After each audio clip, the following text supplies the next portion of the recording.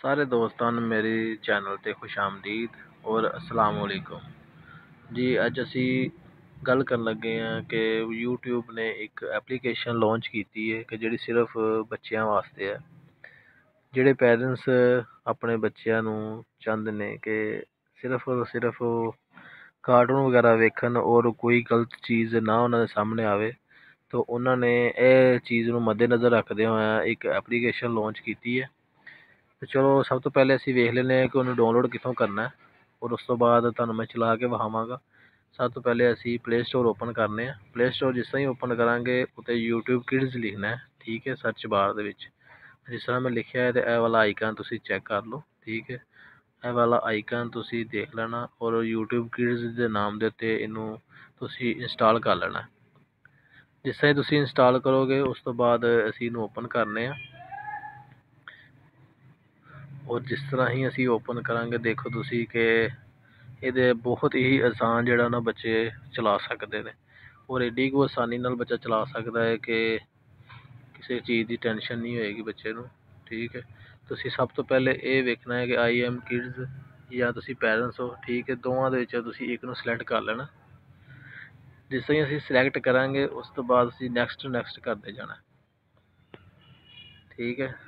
Next ਕਰਨ ਤੋਂ ਬਾਅਦ ਉਸ ਤੋਂ ਬਾਅਦ ਉਹ ਤੁਹਾਡੇ ਕੋਲੋਂ ਏਜ ਪੁੱਛਣ ਦਿਆ ਵਾ ਤੁਹਾਡੀ ਕਿ ਤੁਹਾਡੀ ਸੀ ਕਿੰਨੀ ਏਜ ਹੈ ਤੁਹਾਡੀ, ਠੀਕ ਹੈ? ਜਿਸ ਤਰ੍ਹਾਂ ਕਿ ਮੈਂ ਇੱਥੇ 1987 ਲਿਖ ਦਿੰਦਾ, ਠੀਕ ਹੈ? 1987 ਲਿਖਾਂਗਾ, ਉਸ ਤੋਂ ਬਾਅਦ ਸ਼ੋ ਨੈਕਸਟ ਕਹਿੰਦੇ ਆ ਸ਼ੋ ਨੈਕਸਟ ਫੇਰ ਸ਼ੋ ਠੀਕ ਹੈ?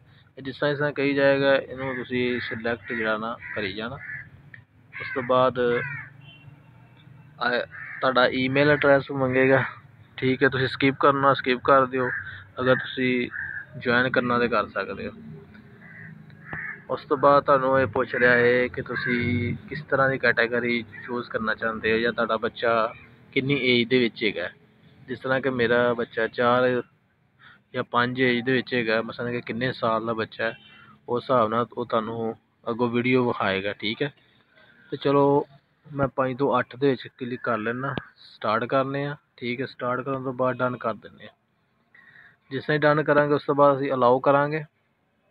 ਅਲਾਓ ਕਰਨ ਤੋਂ ਬਾਅਦ ਇਸ ਤਰ੍ਹਾਂ ਇਹਦਾ ਇੰਟਰਫੇਸ ਹੋਏਗਾ। ਔਰ ਦੇਖੋ, ਇਸ ਹਰ ਤਰ੍ਹਾਂ ਦੇ ਕਾਰਟੂਨ ਵਗੈਰਾ ਆ ਗਏ ਨੇ। ਠੀਕ ਹੈ, ਮੈਂ ਆਵਾਜ਼ ਬਿਲਕੁਲ ਬੰਦ ਕਰ ਲੈਣਾ ਕਿਉਂਕਿ ਕੋਈ ਸਟ੍ਰਾਈਕ ਨਾ ਆ ਜਾਵੇ। ਤੋ ਚਲੋ, ਕੋਈ ਵੀ ਵੀਡੀਓ ਜਿਹੜੀ ਨਾ ਇੱਥੇ ਚਲਾ ਕੇ ਵੇਖ ਲੈਂਦੇ ਹਾਂ।